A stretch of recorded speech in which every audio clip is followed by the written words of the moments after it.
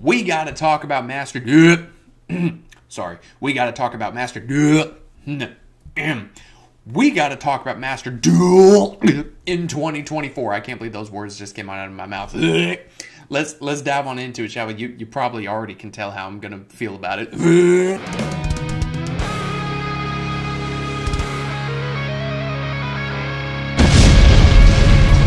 Hello, ladies and gentlemen. Is your host with the most, Avery LR32 here, and destroy the ever living boo boo stain off of that like and subscribe button as we drop a dookie boo boo stain all over Master Duel.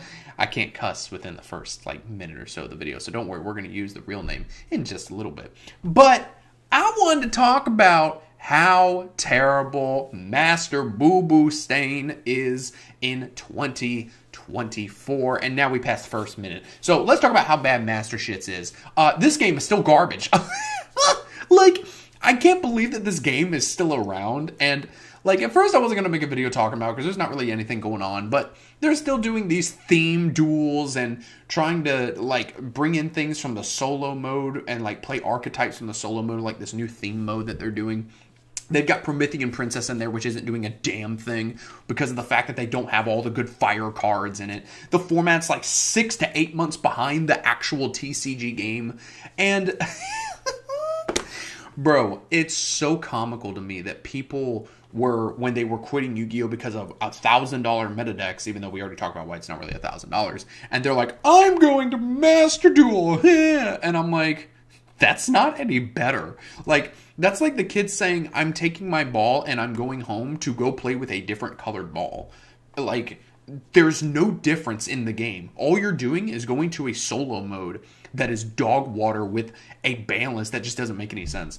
And a buddy of mine was trying to tell me couple days ago he's like bro like you just won't let people enjoy things do you? Like he was getting kind of pissed because he's like talking about master shits and all the decks that he's beating whatever and i'm like those meta decks haven't been a thing for like eight or nine months. He's like well uh, why can't you just let people enjoy it? You know it, it's something different. And i'm like look i didn't even say this to him at the time because i just didn't want to get into an argument with him piss him off and it's not that I wanted to. It's just the fact of I don't want players who play master shits to suddenly think that they're a god at the game and then go get their asshole blown out at a regional and then they get all upset and cry and sell their deck for ten dollars uh, when like they're not doing as well as they were hoping to because master shits sold them a lie.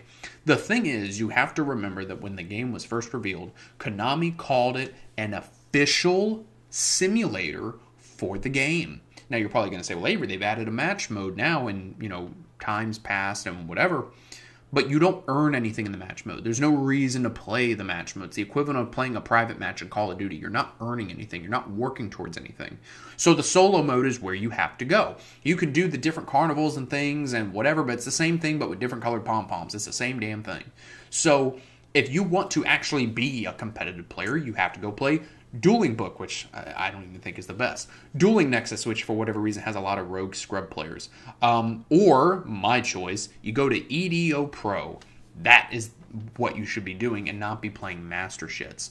And the fact that they're adding in cards that aren't in the game yet, I mean, we don't have Promethean Princess yet, but we're going to get it in Phantom Nightmare. It's just weird. I think they're trying to sell people on the fact of, hey, you can play with this card early and see how it works in Master Shits, but that doesn't really make any sense because of the fact that the format's so different and it's best of one. So you don't even get to side deck and see what kind of answers the opponent's going to play against that card. So help me learn this here.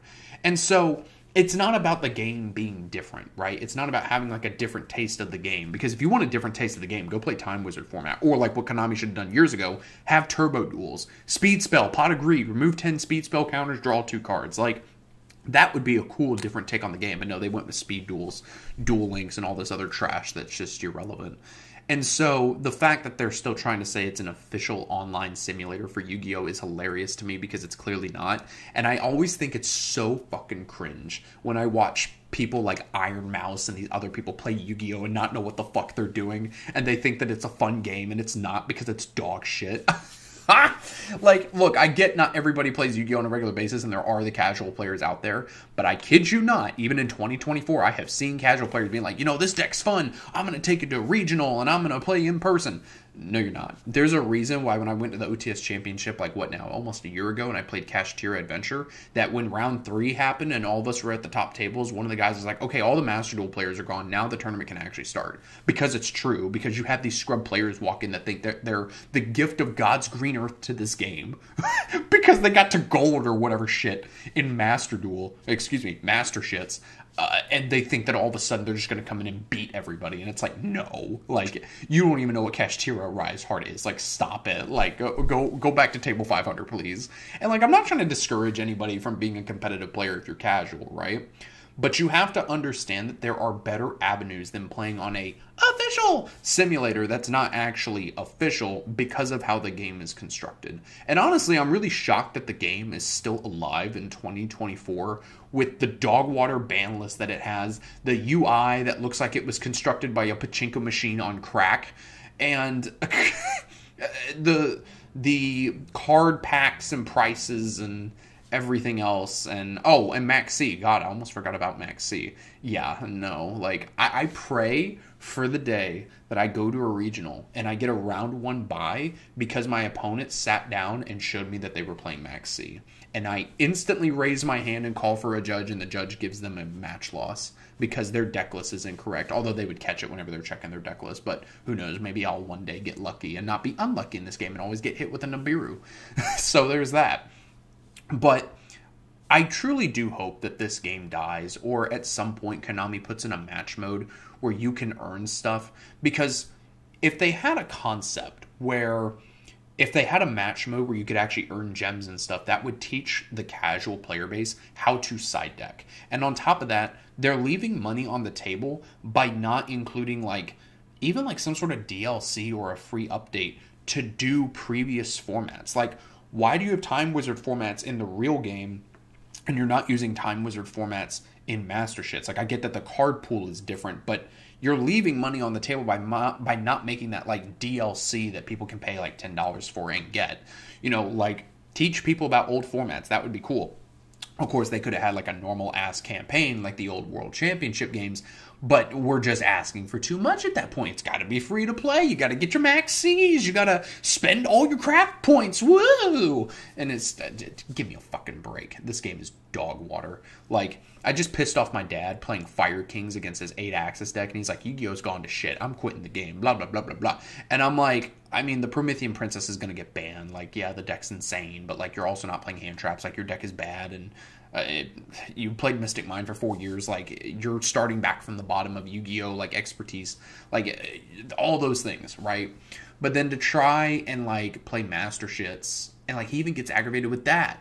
And the reason why I bring him up is because of the fact that he was a competitive player and he, for the most part, enjoys Master Shits. But he's like, you know, what's S Force? What are these cards? I'm like, you're playing against all these dog shit decks. He told me that he lost to a Labrynth Traptrix deck. And I'm like, Jesus Christ, the players in this game are terrible.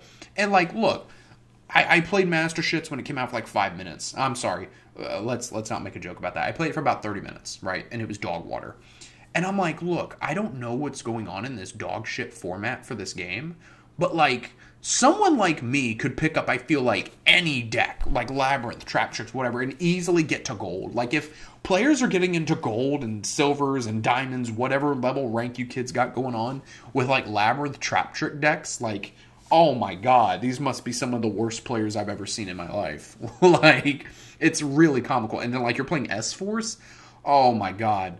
This is why I say, like, you need to play on a different simulator in 2024 that's not Master Duel because of the fact that the players clearly in that game, unless all of the competitive players finally dumped out, like someone farted and everybody just falls out the room because it stank so bad, that all of the good players are gone and it's just the casual five year old Timmy No Thumbs. Like, it's going to be one of those games, I think, for a while. It's going to be like easy money for streamers and stuff to play if they don't want to do like Warzone or Call of Duty or something. But, like, even like if you were to talk to someone like Jesse Kotton, who like whatever became the world champion of Master Shits, I think anybody could do that. It's just Jesse Kotton decided to take the polar bear plunge and actually invest the time into that, which I would never do in my life.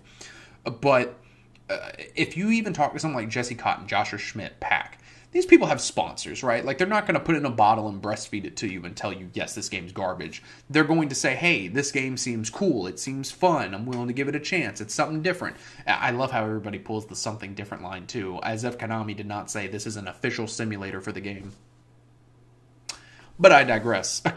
so even if you talk to those players, I feel like behind closed doors, they would tell you, look, this game is ass. Like, you're not going to learn how to play the game well through playing this. If you're a casual player, like, who doesn't want to be competitive, then sure, but like, why are you watching this video if you don't want to get better at the game or be a competitive player at the very least?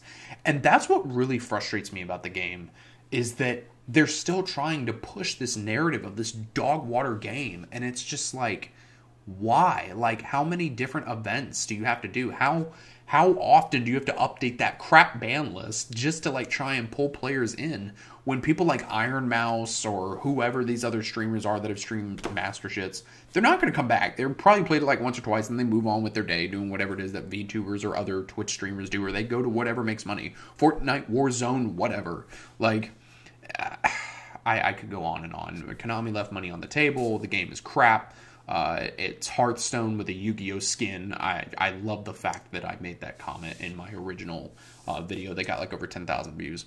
But let me know what y'all think about Master Shits in 2024. I think it's hilarious that this game is still going, uh, comical to a point where like I have to kind of congratulate them. But I do hope it dies so that people will actually go to real simulators like Dueling Book, EDO Pro, whatever. I want more people to play the game, but I want Konami to push a good game, whether it's another World Championship game that I keep saying that they need to make.